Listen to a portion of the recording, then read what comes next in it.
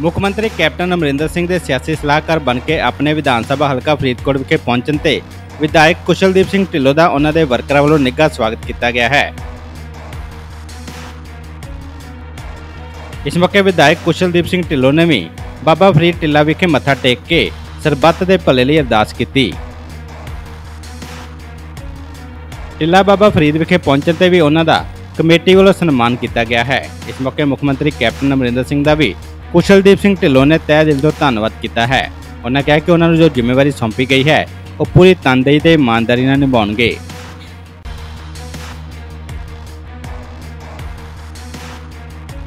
ਮੈਂ ਬਹੁਤ ਧੰਨਵਾਦੀ ਹਾਂ ਕੈਪਟਨ ਅਮਰਿੰਦਰ ਸਿੰਘ ਜੀ ਦਾ, ਕਾਂਗਰਸ ਪਾਰਟੀ ਦਾ, ਸਾਡੀ ਹਾਈ ਕਮਾਂਡ ਦਾ, ਜਿਨ੍ਹਾਂ ਨੇ ਜ਼ਿੰਮੇਵਾਰੀ ਮੈਨੂੰ ਕੈਪਟਨ ਸਾਹਿਬ ਨੇ ਦਿੱਤੀ ਹੈ ਤੇ ਜਿਹੜੀ ਆਸ ਤੇ ਸੋਚ ਰੱਖ ਕੇ ਉਹਨਾਂ ਨੇ ਮੈਨੂੰ ਜ਼ਿੰਮੇਵਾਰੀ ਦਿੱਤੀ ਹੈ ਮੈਂ ਪੂਰੀ ਮਿਹਨਤ ਕਰੂੰਗਾ ਤੇ ਉਸ ਜ਼ਿੰਮੇਵਾਰੀ ਨੂੰ ਤਨਦੇਹੀ ਨਾਲ ਨਿਭਾਊਂਗਾ ਤੇ ਤਕੜਾ ਹੋ ਕੇ ਮੈਂ ਪਾਰਟੀ ਨੂੰ ਮਜ਼ਬੂਤ ਕਰੂੰਗਾ।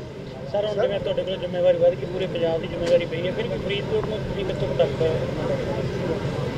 ਦੇਖੋ ਫਰੀਦਕੋਟ ਮੇਰਾ ਦਿਲ ਹੈ ਤੇ ਦਿਲ ਤਾਂ ਧੜਕਦਾ ਹੀ ਰਹੂ।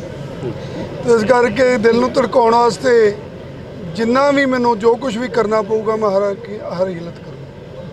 ਸਰ ਇੱਕ ਤੁਸੀਂ ਆਪਣੇ ਭਾਸ਼ਣ 'ਚ ਕਿਹਾ ਵੀ ਸੁਖਬੀਰ ਬਾਦਲ ਜੀ ਨੇ ਕੰਮ ਕਰਵਾਇਆ ਕੀ ਹੈ ਉਹ ਸਭ ਨੂੰ ਪਤਾ ਜੀ, ਉਹਨਾਂ ਨੇ ਮਨਰੇਗਾ ਦੀ ਸ਼ਿਕਾਇਤ ਕੀਤੀ ਫਰੀਦਕੋਟ ਇਲਾਕੇ ਦੀ। ਸੈਂਟਰ ਦੇ ਮਿਨਿਸਟਰ ਨੂੰ, ਰੂਰਲ ਡਿਵੈਲਪਮੈਂਟ ਮਿਨਿਸਟਰ ਨੂੰ, ਉਥੋਂ ਟੀਮ ਆਈ ਸੀ। ਹੋ ਗਏ ਕੋਈ ਕਰੀਬਨ 20 25 ਦਿਨ ਚੈੱਕ ਕਰਕੇ ਗਈ ਹੈ। ਬਾਈ ਨੇਮ ਸੁਖਬੀਰ ਦੇ ਵੱਲੋਂ ਸ਼ਿਕਾਇਤ ਹੈ। ਉਹਨਾਂ ਨੇ ਆਪ ਕੀਤੀ ਹੈ।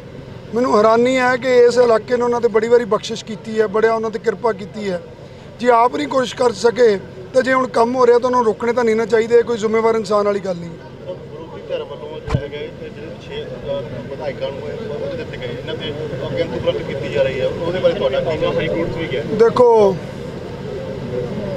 ਉਹਨਾਂ ਨੇ ਤਾਂ ਕਹੀ ਜਾਣਾ। ਅਸੀਂ ਆਪਦਾ ਕੰਮ ਕਰਨਾ ਕੰਮ ਕਰਕੇ ਦਿਖਾਉਣਾ। ਦੂਜੀ ਗੱਲ ਇਹ ਹੈ ਜੇ ਦੇਖੋ ਮੈਂ ਖੜਾ ਹਾਂ ਕਿ ਜਿਹੜੇ ਮੇਰੇ ਪਰਕਸ ਹੈ ਮੈਂ ਪਹਿਲਾਂ ਕਹਿਤਾ ਕਿ ਮੈਂ ਤਾਂ ਜੋ ਆਪਦੇ ਐਮਐਲਏ ਦੇ ਪਰਕਸ ਆ ਉਹ ਹੀ ਲੈਣੇ। ਕਿਉਂਕਿ ਮੈਂ ਸੇਵਾ ਕਰਨੀ ਹੈ ਮੈਂ ਦੂਜੇ ਪਰਕ ਨਹੀਂ ਲੈਣੇ ਮੈਂ ਐਮਐਲਏ ਲਈ ਲੈਣੇ।